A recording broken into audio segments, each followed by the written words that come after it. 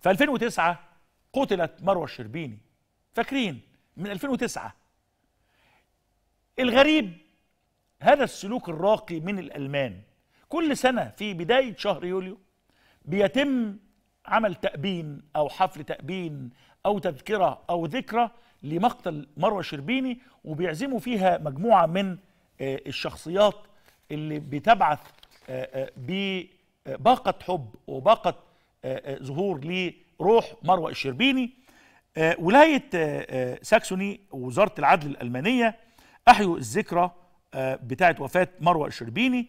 وكان مدعو من مصر المحامي الدولي والإعلامي آه، الزميل خالد أبو بكر ممثل عن أسرة مروة آه، الشربيني. خليني آه، آه، أستاذ خالد مساء الخير. أستاذ خالد مساء الخير. أهلا وسهلا. مساء الخير أستاذ نشأت آه، أنت لسه في ألمانيا؟ نعم أنا لسه في ألمانيا الحقيقة. يعني آه، أنا بشكرك الأول على آه، تذكرك للمصرية مروة الشربيني رحمة الله عليها.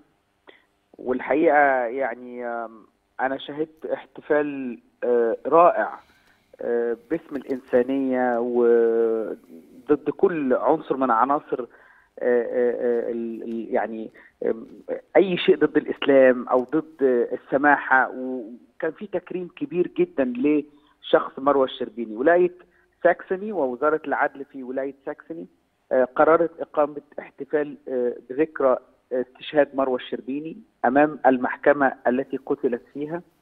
والحقيقة الاحتفال كان فيه العشرات اللي جم من مدن مختلفة في ألمانيا. وكان موجود وزير العدل في ولاية ساكسي وكان موجود نائب وزير الثقافة ومدير دائرة الأجانب ورئيسة محكمة دريسدن وعدد من المسؤولين. وزي ما حضرتك عارف من شهرين هم قرروا إن هم يسموا المح... ال- ال- الحديقة اللي أمام المحكمة آه، باسم مروة الشربيني. كمان آه، منذ سنوات كان تم وضع لوحة تذكارية فيها حكاية مقتل مروة الشربيني باللغة العربية وباللغة الألمانية وفيها عبارة أن آه، ولاية ساكسوني آه، تتعاطف تماما مع أسرة مروة الشربيني التي راحت ضحية العنصرية. الحقيقة كان مشهد رائع قوي وكان مشهد آه، خلاني فخور بهذه البنت الأم الأخت الطيبة اللي قتلت ب 13 طعنة وهي أمام القاضي وكان معها زوجها وابنها. فهي دعوة يعني كي يذكرنا الألمان بأن لنا آه، يعني ابنة آه، ماتت ضحية العنصرية. آه، ويعترف الألمان بهذا يعني السلوك العدواني الموجود أتمنى يعني آه، أن خالد كيف. كيف نستفيد إحنا في مصر وإحنا بنحاول ناخد اللقطات الجميلة من الشعوب الأخرى كيف نتعلم من هذا الدرس ونسقطه في مصر اولا عندنا؟ النغار النغار يعني إن إحنا نغير إن الألمان بيتذكروا بنتنا. يعني دي أول حاجة. فيعني كنت أتمنى إذا كان يعني آه آه آه بنتنا راحت ضحية العنصرية إنه حتى وزيره الثقافة هنا في مصر كمان تقيم فاعلية. يعني برضو إذا كان الألمان افتكروا هذه البنت الطيبة واعتبروها مثالا رائعا للتسامح ومثالا رائعا للإسلام فكنت أتمنى أن يكون أيضا لل يعني للبعض في مصر دورا في تذكر مروة الشربيني. ده واحد. اثنين إنه لازم نعرف أن الجريمة موجودة في أي مكان. يعني تتحدث عن ألمانيا يعني قمة أوروبا. تتحدث عن محكمة جنائية يعني قمة الأمن. تتحدث عن داخل القاعة وتتحدث أثناء نظر الجلسة وتقتل ب 13 طعنة. فالخطأ وارد في أي مكان والجريمة موجودة في أي مكان وكل مجتمع به أمراض وكل مجتمع يواجه أمراضه بحقيقة وبلا هروب. ده اللي ممكن نتعلمه يا أستاذ نشأت ده اللي ممكن نواجه أنفسنا بيه. إزاي يبقى عندي رمز عالمي بهذا الشكل يصفه العالم في أوروبا كله بأنه رمز للتسامح والحرب ضد العنصرية وأنا في مصر ما استغلش هذا الرمز؟ صحيح صحيح. ليه دايما أنا خطابي العالمي أنني أهاجم ليه أنا ما هاجمش؟ ليه ما أقولش؟ إحنا أنا وقفت في الكلمة اللي قلتها وقلت لهم أن هذا أقل ما تقدموه آه، لروح مروة الشربيني لأنه المحكمة الألمانية هي التي كانت مسؤولة عن حماية روحها. صحيح. وبالتالي كل المسؤولين اللي كانوا موجودين يعني آه، مساهمين بشكل أو بآخر حتى بشكل سلبي عن عدم حماية هذه المرأة البسيطة منذ 13 عام. ده كله ممكن يستخدم في خطابنا الدولي. لأنه دائما نحن نهاجم ولا نهاجم إحنا في موقع المدافع دايما ليه يا أستاذ خالد ليه دايما في موقع لا. المدافع لأنها لا يوجد تخطيط لفكرة صورة مصر الدولية. أنا عايز أقول لحضرتك إيه؟ الكلام ده بيفرق في الاستثمار وبيفرق في السياحة وبيفرق في القضايا السياسية وبيفرق في موضوع حقوق الإنسان. الفكرة إن أنت ما بتعرفش تكلم مين وتكلمه إزاي وتكلمه إمتى. يعني أنا دلوقتي لو عندي مستثمر أجنبي ينزل يكلم مين؟ طب هيكلم مين الساعة الأولى ويتصور مع مين وبعد كده يروح في إيه بقى؟ يعني يروح يكلم المستوى الثاني والثالث والرابع دخل في واقع أليم عندي وفد سياحي عايز يروح مكان برضه في نفس التوقيت يروح مكان آه، ظاهر كي نأخذ الصور وبعد كده برضه يروح إلى طبقات أخرى صعب التعامل معاها لحد ما ألاقي قضاياي المحلية نفسها تنشر ويصدر لها صورة سلبية في الخارج. علما الحقيقة مش كده. لسه كنت قبل قبل ما أعمل مداخلة مع حضرتك كان عندي قضية آه، إزالة العوامات الموجودة على النيل للأغراض السكنية واللي ما دفعوش ومخالفين للترخيص. آه، اتفاجئت إنه آه، أربع خمس صحف أجنبية كبيرة زي نيويورك تايمز واشنطن بوست الجارديان الصحف والمواقع الأجنبية بيتكلموا على إنه مصر بتقتل التراث والتاريخ و آه، غريب جدا. فدي نموذج للي انت بتقول عليه انه بيتم استخدام امور داخلية على غير حقيقتها في الخارج لتحقيق أغراض لناس معينين. يا فندم هو إجابة واحدة ووحيدة. هذه الإجراءات التي تتم في مصر تتم تحت رعاية القانون صحيح. المصري والنائب العام المصري. يعني أنا النهاردة في في تعدد سلطات في مصر أنت ليه ليه ما بنناقش ماذا تفعل إنجلترا وأمريكا في ملفات أخرى متعلقة بالتفرقة بين السود والبيض أو أو بعض الامتيازات الممنوحة لبعض الأشخاص داخل آه، انجلترا نتيجة ثرائهم المادي الكبير أو في في مليون قضية في كل مجتمع أو العنصرية اللي موجودة هنا في ألمانيا لكن ليه بننتظر إن هم يهاجمونا؟ السؤال واحد ووحيد، هل هذه الإجراءات تمت تحت بصر وبصيرة النائب العام في مصر؟ نعم خلاص قضي الأمر. ما تكلمني مش مسموح تكلمني. اللي مسموح إن أنا أعمل فصل بين السلطات، أعمل نوع من العدالة الشفافة عشان خاطر أبقى بواجه المجتمع بقوة، المجتمع الدولي بقوة، مطلوب كمان عدم الغموض في بعض القضايا.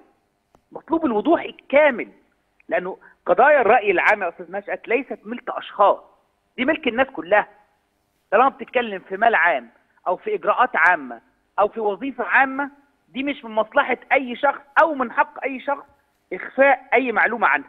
صحيح البلد هي اللي بتتضرر في النهاية. طيب أستاذ خالد خليني كلما زادت التفرقه استفدنا جميعا. اتفضل. خليني آه، لو لو ينفع عندك وقت آه، أنت قريت تقرير مراسلين بلا حدود اللي كان بيهاجم فيه آه، بعض الإعلاميين في مصر وكان منهم أنا وحضرتك أعتقد قريت هذا التقرير. تعليقك إيه على التقرير؟ اولا أنا قريته باستفاضة. باستفاضة. ثانيا آه باستفاضة. و و ومن يقلل من أهمية هذه التقارير يعني يبقى مش عارف آه معايير العمل الدولي. عشان نكون صرح يعني دائما آه انظر لعدوك كيف يستخدم الأسلحة. ومن الغباء كل الغباء أن تعتقد أن أن هذه الأسلحة ضعيفة. لا هي أسلحة مؤثرة. فهنا بقى يجب أن ترد بسلاح أقوى. إيه هو كيفية الرد الرد القانوني أو اللي يتمشى مع المعايير الدولية إيه؟ لا يوجد رد قانوني يوجد رد عملي وأنا تحدثت مع النقيب ضياء رشوان منذ دقائق. وضياء فرانكوفون يعني يعرف كويس قوي هذه المنظمة ويعرف كويس جدا آه، آه، كيف تعمل. أنا بطالب أن يتم الرد عن طريق نقابة الصحفيين مجلس أعلى للاعلام آه، الهيئة الوطنية. الهيئة العامة للاستعلامات كل الناس دي تشترك مع بعض وتتولى ملف الرد على الاتهامات التي آه، آه، يسوقها البعض ضد الإعلام المصري. إيه القصة عشان خاطر ما حدش يقعد يلف ويدور كتير. القصة إن إحنا من أول ما الرئيس السيسي مسك لما قلنا له تعالى أمسك وأنا تاني بقول وبهني كل إعلامي كان موجود على الشاشة وكان عنده قلم في 30 6 أقول له أنت بطل وهتفضل بطل ورضى من رضى وأبى من أبى هتفضل بطل لأن أنت اللي عرضت وشك للخطر. المسؤولين الكبار لو مشوا في الشوارع في لندن وباريس مش هيعرفهم الإخوان لكن الإعلاميين هيعرفوهم الإخوان. ف ف آه، 30 6 كلنا استدعينا الرئيس السيسي الإعلاميين اللي طالبوا والإعلاميين اللي حشدوا الناس والإعلاميين اللي نزلوا الناس وقالوا لرئيس السيسي اتفضل أدي البلد بين إيديك. كان قدامنا مهام صعبة فما كانش ينفع أروح أقول له طب خلي بالك من دي طب اعمل دي طب ودي دي. فكنا لسبب أو لآخر يتم وأنا بقول الكلام ده على الهوا والناس سمعانا وأنت عارف وأرجو اللي يكذبني يكذبني يعني. كان بيتم من مجموعة وطنية من الإعلام نوع من أنواع يعني بيحارب الإرهاب والدنيا تعبانة والحالة الاقتصادية صعبة. فكنا بنحاول بقدر المستطاع نلم على بيتنا. ها؟ زي ما يكون كده أنت عندك آه، مناسبة في البيت إنه آه، حد بيتعالج. ما يبقاش بقى أنا من السخافة أقول له والله أنا عايز أشتري حاجة جديدة أنا عايز أعمل مش عارف إيه. فكنا أم- يعني خلف رب الأسرة بنوع من أنواع الهدوء في المطالبه صحيح. بعض الناس حبت تعمل أبطال. لا دلوقتي والتعليم دلوقتي والصحة دلوقتي وأصله ما جابش وأصله ما عملش وأصبحت بطولة. واخد بالك؟ واللي قعدوا أربع خمس سنين يساندوا ويناصروا يتهموا بعض الاتهامات دلوقتي. ده مش عدل. ما هو من السهل جدا أن تنتقد. لكن من الصعب جدا أن تدير بلد بحجم مصر. صحيح. وكان من الوطنية الالتفاف حول هذا الرجل. العيال كانت بتموت ولادنا. فكنا نروح نعمل إيه؟ كنا بنحارب إرهاب وكان عندنا احتياطي نقدي ضعيف جدا وكان الظروف الاقتصادية تعبانة وإمدادات البترول مقطوعة والعالم مش معترف ب 30 6 فكان لابد من الالتفاف الوطني. هذا الالتفاف الوطني سماه البعض سماه البعض أنه غياب عن فكرة النقد لصالح الدولة مثلا لا اطلاقا. هو أنت النهارده بعد مرور تسع سنوات لا أقول لك لا لو مش عاجبك حاجة قول لو بتنتقد قول لكن مالكش دعوة بمؤسسة الدولة بتاعتي. ما صحيح. تهدمليش بلد بقى. صحيح. أنا ما صدقت بنيتها. صحيح. يعني ما, صحيح. ما توصلنيش لمرحلة إن أنا أضيع تعب ودم الناس اللي راحت دي كلها وتكسر لي مشروع أو تكسر لي مؤسسة. لا أنا مش هسمح لك. صحيح. أنا كل ده عملته تاني. فلكن لكن الرد على مثل هذه الأمور لابد أن يكون بمزيد من الشفافية ومزيد من حرية الرأي ومزيد من الحرية في طرح الأمور. أنا أعتقد أن الأغلبية المؤيدة تحتاج إلى حوار وطني بعد الحوار الوطني الذي يدعى إليه نجوم المعركه التلفزيونية. لأنه واضح أن الأغلبية أيضا تحتاج إلى نوع من أنواع الدعم المعنوي. حتى تستطيع أن تفعل آه، آه، الكثير والكثير وتقدم الكثير والكثير. أتمنى أن يكون هناك احترافا في الرد على مثل هذه التقارير. تمام. أنا بشكرك جدا آه، الأستاذ خالد أبو بكر المحامي الدولي والإعلامي وصديقي العزيز. شكرا لك من ألمانيا.